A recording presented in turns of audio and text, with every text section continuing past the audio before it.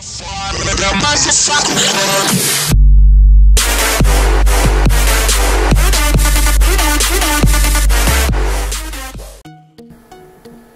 what's going on guys, it's your boy Switch coming in with another video today. Today, this is going to be a really quick video. All I gotta say is just, like, comment down below, or let me know, like, what game should I play out of these, how much are these, six games? Yeah.